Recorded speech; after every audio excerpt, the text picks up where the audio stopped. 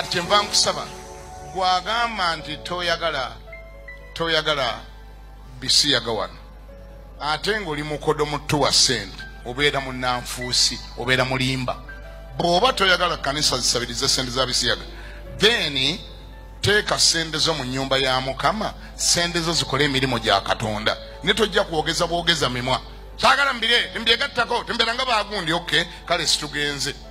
Era naffe situgenze ne kati gwe okozeewo ki? Musumba kiganda akiguddeko bannansi bamuddiza omuliro waabasabye ssente mbu abataalye zaababisiyaga amawulire agaliwo kaakati we tujjidde ku mpeewo basibo ne banyabo nsobola okuva ne kutegeeza nti omusumba wa christian focus center mengo kisenyi bishop david kiganda ate mu kaseera kano basibo ne banyabo ono yagudde wakati mu kattu oluvannyuma lwa bannansi okugenda mu maaso okubanga basigadde banyinya mitwe ng'embuzi oba ng'endiga etenda enkuba nga beewuunya kiki kyagenze mu maaso okubanga abategeeza nga bwe balina okubanga bawaayo ssente ne baziteeka mu buweereza bwe baba nga banaagoba ebisiyaga. Ono ng'ayima ku kituuti wali mu kkanisa ye awali kingdom radio ne tv ategeezezza endiga nti wezibanga oba abagoberezi webabanga tebaagala abasumba bagende mu ssente z'abasiyazi oba balya ssente z'abasiyazi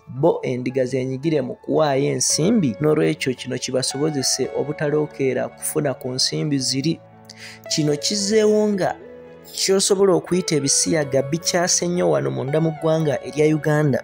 But of course ffe ngaabakuba tooki omusumba yandiba omukyamu ku kyeyayogedde naye ate yandiba omutuufu kubanga oteekeddwa okukimanya nti we twogera ku christian best churches oba ez'aba born again ebitundu we twogera nsanvu ku kikumi ku ezo ezisinga bassebo ne bannyabo ensimbi bazijja mitala w'amayanja oba oliawo bazijja mu bazungu be bavujjirira.